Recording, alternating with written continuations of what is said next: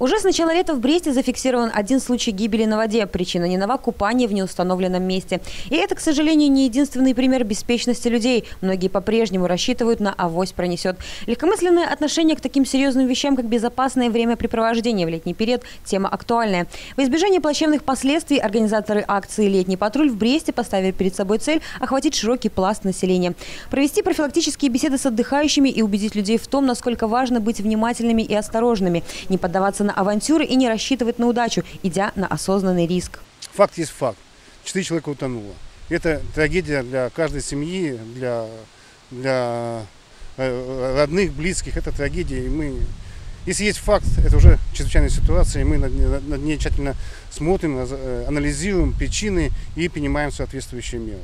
Очень хороший метод э, – это рассказ наших, наших спасателей, наших водолазов, которые у нас дислоцируются в пожарно-спасательном отряде, они рассказывают, как оказывать первую, э, э, как оказывать первую медицинскую помощь, что делать в случае, если свело ногу в, ногу в воде, как себя вообще действовать в случае такой нестандартной ситуации, на воде.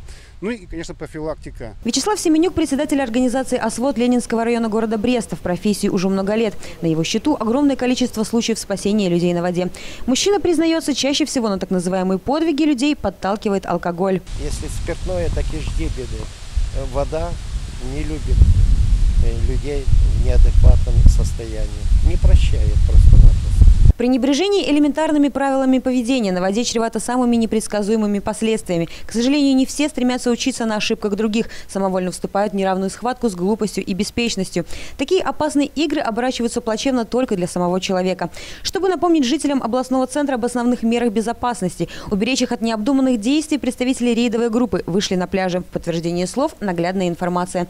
Активная работа в деле предупреждения гибели людей на водоемах будет осуществляться до конца августа. В этот период также будут организованы совместные рейды в леса и на торфяники с целью предотвращения очагов возгорания. Несколько раз можно человеку рассказать, показать, тем более присутствует наглядная агитация, чтобы он мог убедиться в том, что это небезопасно. И, конечно же, нужно постоянно людям говорить про то, что необходимо применять определенные моменты быть бдительными. Тем более 70% э, э, утопленников находились в состоянии алкогольного опьянения. София Бережная, Денис Величкевич, Дмитрий Лазарчук, телекомпания Бук ТВ.